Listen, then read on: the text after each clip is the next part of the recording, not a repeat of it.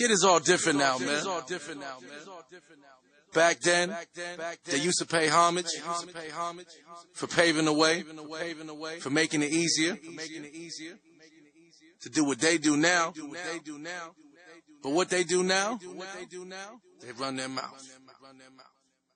But you know what? You know what? You know what? Let's go ahead. Let's talk about it, man. At night, you haven't been to Chicago in a while, In right? a while. It's It's been a been a while, and you know this is like one of my favorite places to come.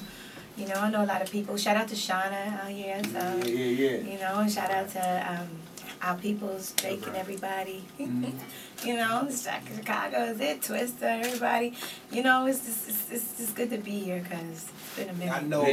We know you want to fix that whole how the whole Biggie relationship Yeah. was portrayed on a Notorious. You know what's crazy? I get offered movies uh, from the biggest of the biggest directors.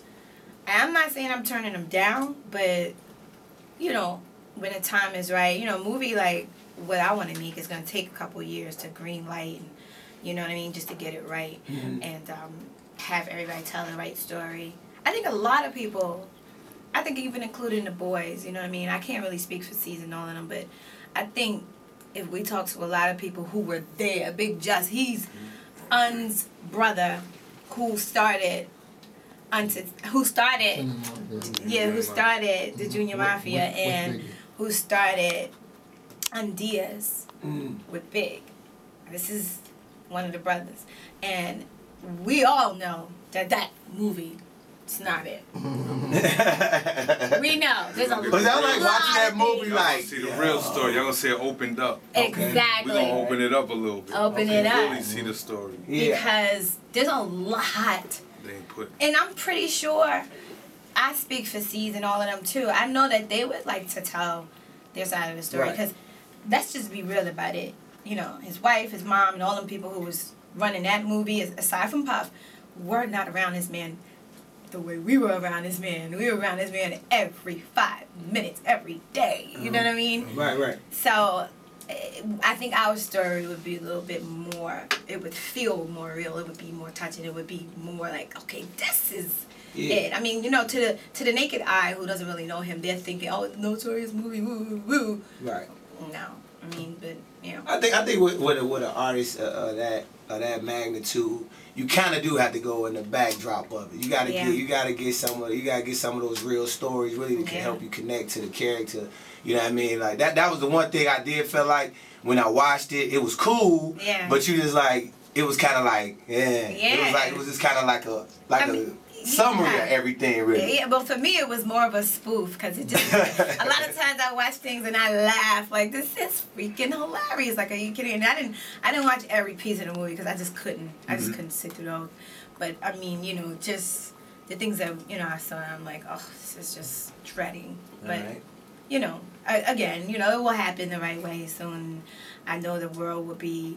I think even the boys, like I said, D-Roc and everybody, I think they would even be proud of it.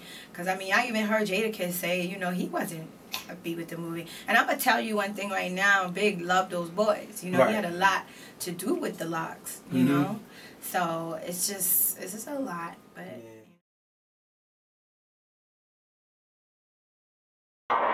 I come